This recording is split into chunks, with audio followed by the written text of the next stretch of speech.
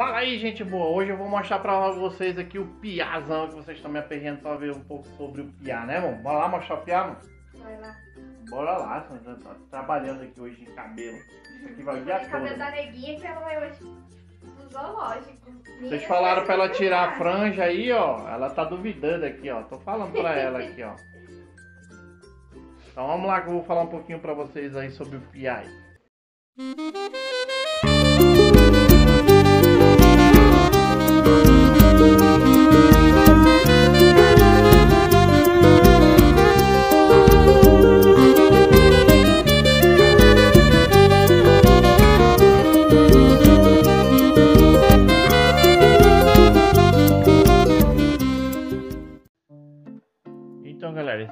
Pra vocês verem como é que tá aí, ó. Perfeito de pintura. E tem algumas coisinhas assim que tem que dar uma retocada depois, mas tá perfeito ele. Não tem nenhum batido, nada, massa, tem. E agora ele tem um furinho aqui que hum, foi feio de granizo que ele pegou lá em Araucária. Vocês estão vendo aqui, ele tá em perfeito estado, a lataria dele, a pintura dele. O estufamento aqui, ó, tá perfeito também, ó. Muito legal aqui, ó. Tudo... Isso aqui sempre você tem que olhar no carro quando você for comprar, ó. Aí se tá enferrujado, tá podre, ó. Tá perfeito aí, como se fosse de fábrica, ó. Uma coisa que eu observei logo de cara aí quando eu fui abrir as portas. Você sempre dá uma olhada aí pra ver se não tá feio aí. As borrachas. É, o estufamento aí, ó, tá beleza o estufamento.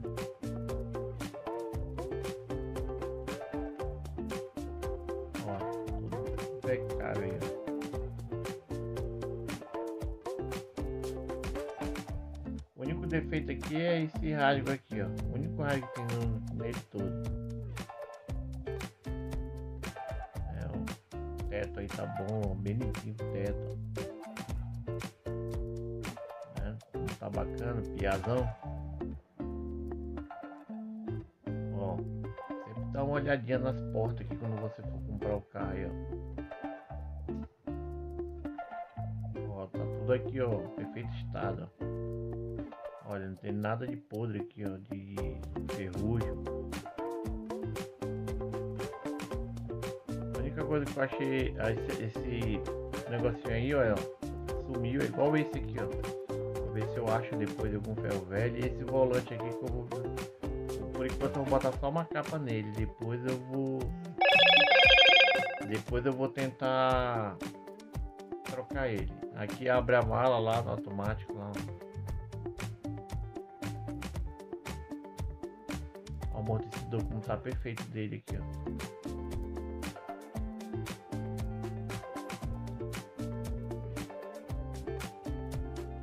Ali como ele subiu sozinho aí, ó.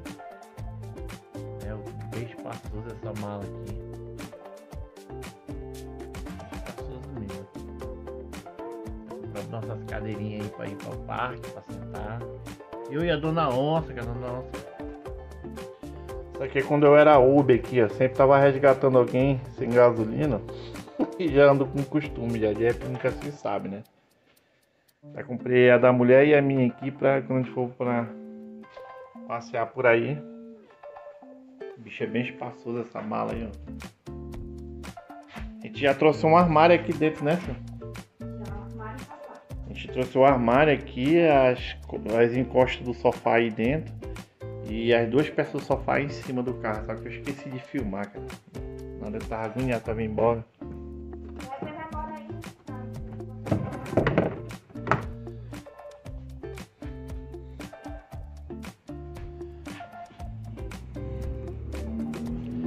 Já com a placa Mercosul, né? Oi?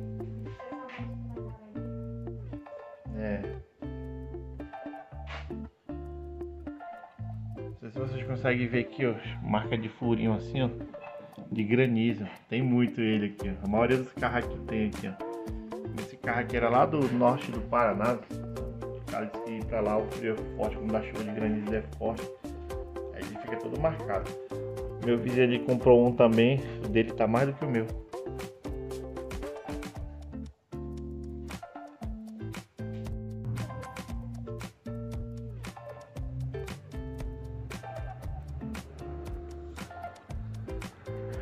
Tudo originalzinho nele aqui, ó. Não tem um vazamento aqui. Só tem marca de barro, porque a estrada lá onde ele ficava lá era de. Era só de, é, estrada de chão lá, só tem marca de barro mesmo. Já levantei ele e olhei por baixo. A única que eu vou ter que trocar isso aqui que tá ressecado, trocar as correias e o óleo. Só isso aqui que tá vazando, mas é... tem que apertar ali, ó, que é a parte do suspiro aqui do motor. Tá saindo ali, ó. Tem que dar uma limpadinha e apertar tudinho pra vedar. Ó, no caso você compra o carro pra ver se o carro não bateu, ó. Aqui, ó. Tudo solda original ainda. Olha aqui, ó. Tudo originalzinho assim, ó.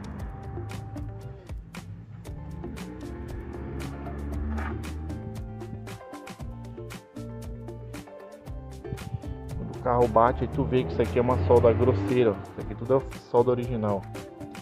E quando bate a frente, isso aqui o cara troca. Aí não tem mais essa numeração.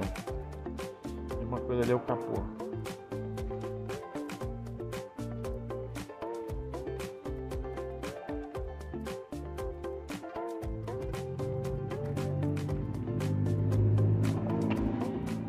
Também o farol de milha aqui funciona, os dois farol de milha. Outra coisa que eu queria mostrar pra vocês aqui. Se vocês estão vendo aqui, ó. Sempre quando você for comprar um carro, você tem que olhar aqui o chassi na, na lataria. Se tá. Se não tá, se não tá enferrujado, tem que estar tá passando um óleozinho aqui para não enferrujar. Ó. E aqui, ó.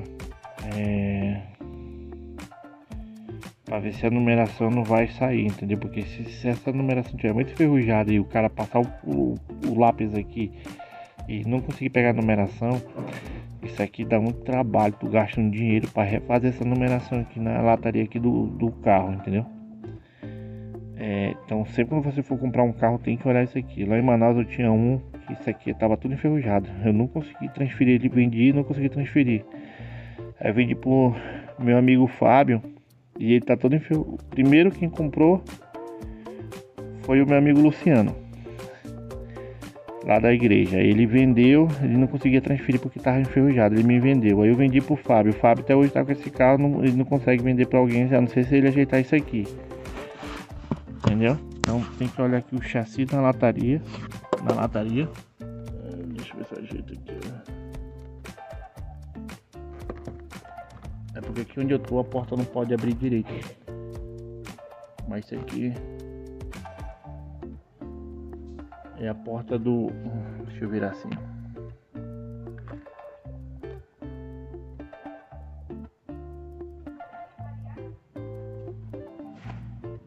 Aqui, ó. Eu tô aqui na porta do passageiro, entendeu? A numeração é embaixo do banco do passageiro, porque aqui eu não consigo abrir a porta direito por causa da parede aqui, ó. Mas bem aqui, ó, a numeração. Tá vendo aqui? Esse aqui é o quadro de numeração. Tem que bater com chassi, tá? Você faz essa conferência aqui. E essa conferência aqui debaixo do banco.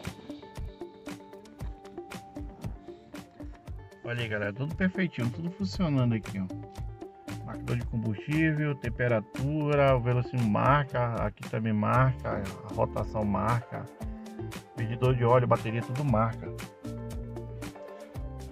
tudo marca legal. Depois só vou trocar esse volante. Primeiro eu vou botar uma capa, vou ficar com ele um tempo, não vou mexer nele agora não, né? E mas tudo aqui funcionando. Ali ele é elétrico no, no, no vidro da frente, mas no de trás, o de trás é manual.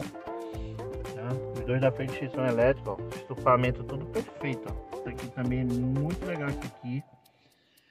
Funcionando aí, ó. Só tem um negocinho aqui, um engate que isso aqui é besteirinha, depois eu posso ajeitar dos dois lados. Né? Aquela tampinha lá que o ar condicionado funciona perfeito, o ar quente funciona perfeito, né? E tá aí o bichão. Ó, o teto dele tá limpinho, muito legal esse carro, muito espaçoso. Eu já tinha um desse Manaus, como eu já falei para vocês, então gostei muito do carro, né? Tem trava, tem sensor, tem a, o alarme, né? Então tá muito bom. Então, galera, vamos lá. É, esse carro aqui na tabela FIP ele vale 12 mil reais. Aqui os carros são. O pessoal segue muito a tabela FIP aqui, né? Então vocês viram aqui o, o estado do carro. Tá impecável o carro. O ano dele, 98, ano 99. Carro tem a idade, vem dizer quase a idade que tem eu e a Suene aqui de casado. Tem 23 anos esse carro. E a gente tem 22. Mas o carro tá perfeito, cara. O que eu vou gastar nele agora é o que? Coisas que você faz quando compra um carro velho, é trocar a correia dentada, a correia auxiliar, o óleo, óleo da caixa da caixa de marcha. É, aí vou trocar os filtros, né? Óleo, filtro do óleo, filtro da cabine, filtro do ar, filtro do combustível. E aí embaixo aqui na suspensão tem duas coisas que tem umas coisinhas que tá batendo aí de bucha. É, são dois pivôs e as buchas da balança, né? E é uma bucha do estabilizador, só isso. Não tem mais nada para fazer nesse carro. Então, quando eu cheguei lá o mecânico deu os parabéns para esse carro aqui. Como eu mostrei para vocês ali, não, não tem vazamento assim na junta, assim vazando óleo. Só tem aquela parte lá onde é o, o retorno do suspiro do motor, que tem alguma coisa ali que eu acho que com certeza ele não tá na braçadeira bem apertada. Tá suspirando por ali. Então, o que que acontece agora? É, faço a manutenção e vou seguir do meu tempo, né? Então é isso, ó. Quando você chega aqui, ó, você vai estar tá com dinheiro separa aí no mínimo 10 mil para comprar o seu carro. Dá para comprar um carro desse, dá, dá para achar um carro desse, dá. Mas tu não pode agoniar. Eu fiquei duas semanas acompanhando os carros. Toda hora, todo momento eu tava olhando no, no Marketplace e olhando no LX. Marketplace e LX, olhando para ver os carros. Quando o cara começou a anunciar isso aqui, esse aqui era 11.500. Tava 11.500. Passou uma semana, ele caiu para 10 mil. Né? O cara já matou 1.500 aí.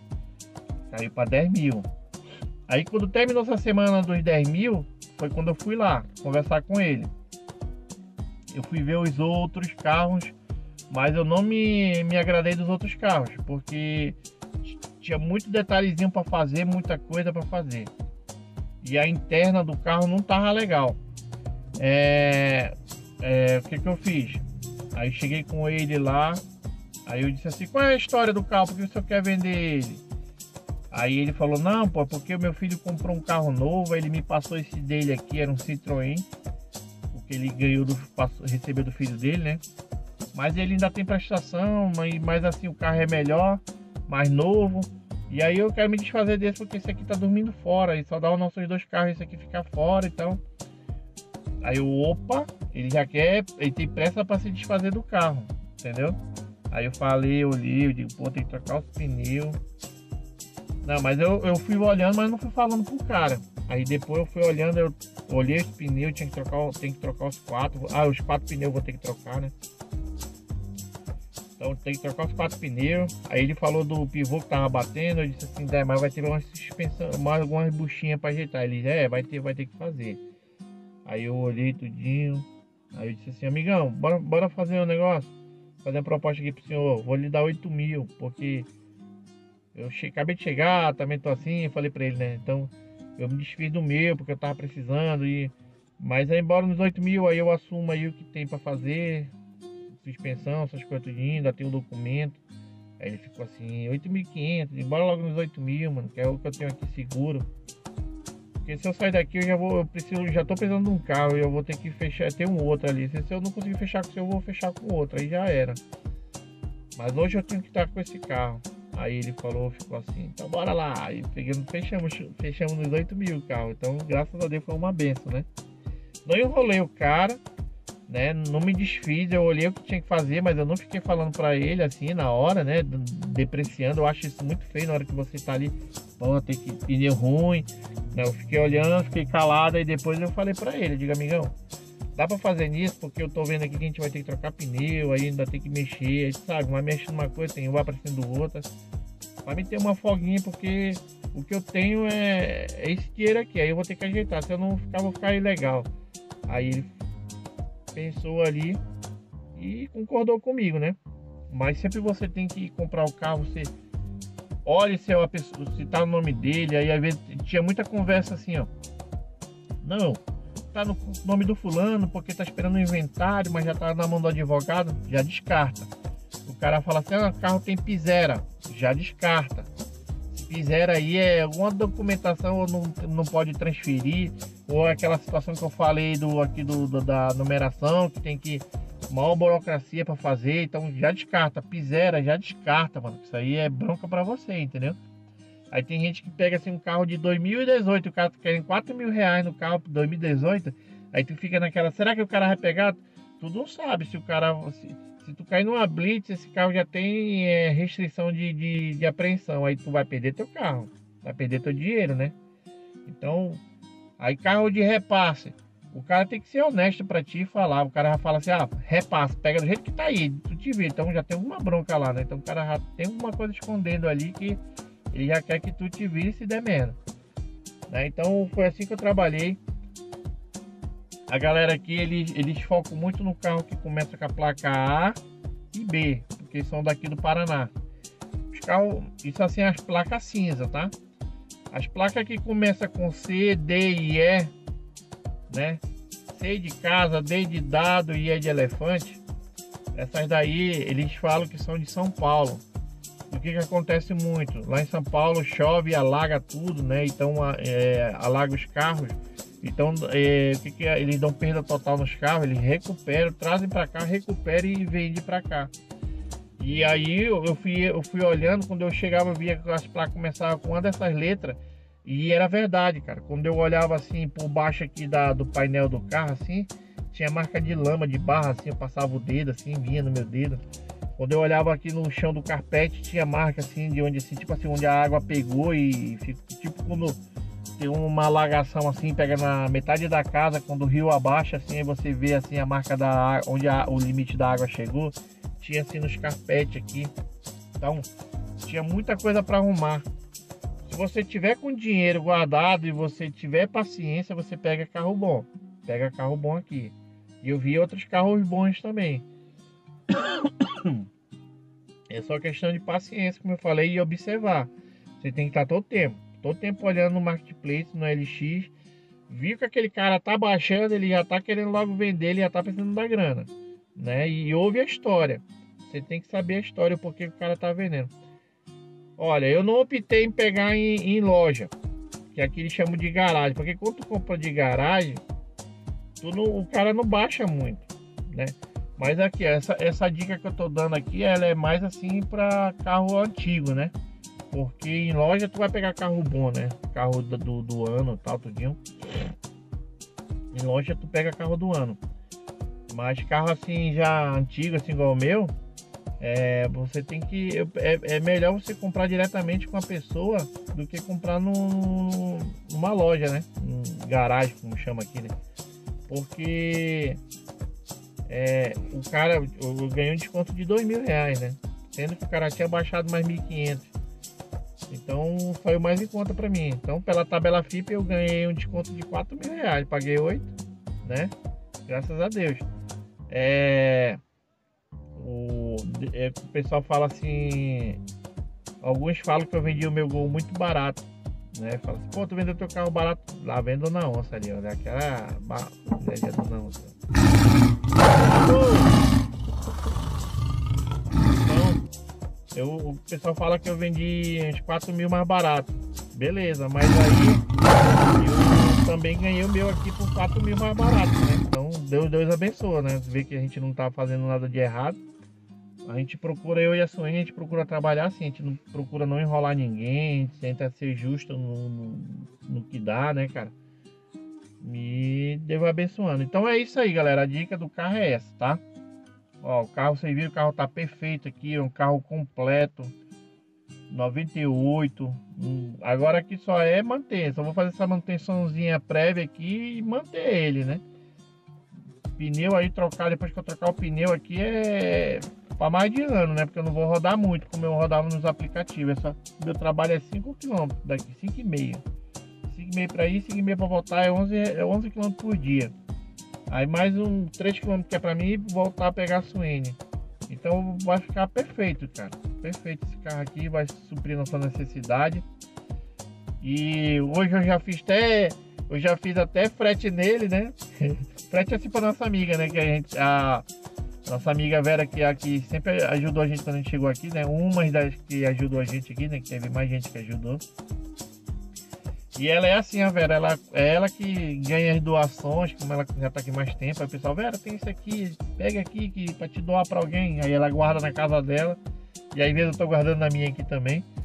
Então a gente foi pegar já um colchão que ela foi doar pra irmã dela. Eu vi o vídeo aí. Só pra fazer mudança pra ela, mano.